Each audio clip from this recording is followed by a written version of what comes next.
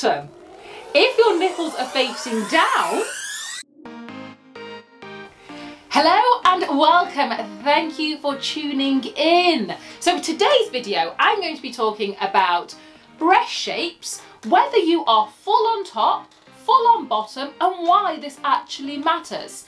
So you did the hardest part, you found out what bra size you are.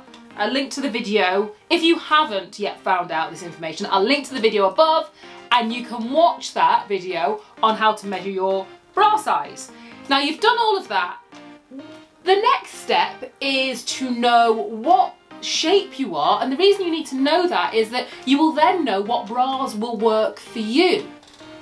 With anything that you put on your body you tend to buy things that flatter your shape and flatter your figure and the same should be said for your bras. You want your bras to be your foundation pieces and to be flattering. So with that being said, how do you know what your breast shape is and whether you are full on the top or full on the bottom. So it's really easy to find this information out. And the easiest way to do it is you've got the correct size bra on, stand up in your bra and if you are full on the top, you will see some, some classic pointers that show that you might have lower density on top. And that is is your bra gaping around the top of the cups? Is the gaping, is the gapping, is it puckering? And at the bottom of the cup, you're fully in there and the breast is fully encased and enclosed. On the flip side, are you full on the top and a little bit more shallow on the bottom? Now, if you've got your bra on, are you seeing some spillage? Are you overhanging? Are you noticing that no matter what the size, and the size is correct, you've got this spillage? And another way to find out if you are full on the top or full on the bottom is to look at your nipple placement. If your nipples are facing upwards on the top of your breast, that's a sign that you are full on the bottom. If your nipples are facing down, that tends to be a sign that you're full on the top. The next thing you need to consider are, are your breasts wide or are they narrow? And what I mean by that is, does your breast take up this width of your chest wall or does it take up a smaller amount of your chest wall? This is important to know because it will determine what style and shape of wires you should actually be choosing for the maximum amount of comfort.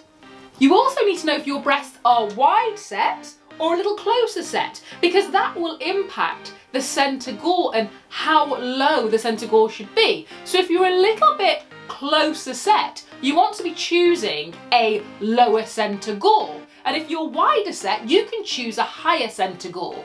With all of this being said, it means that you can make great buying decisions when it comes to your bras. So if you're full on the top, you want to be looking at certain designs that are really suited to your breast shape. So if you are looking at choosing a bra, think about maybe a fuller coverage bra because it comes a little bit higher. Now, even a t-shirt bra would be a great choice or a molded bra because you're so full on the top you're tending to get, you won't get that ski slope effect and you won't get that gapping that can be created if you're not so full. If you are a little bit less full on the top and you're fuller at the bottom, you want to be looking for a bra that has stretch lace and has, again, a fuller cut to the top of the bra. But stretch lace will be the thing that helps to stop that gapping and that puckering. So I hope I explained that for you. If you enjoyed this video, please like and subscribe. And until next time, thank you and goodbye.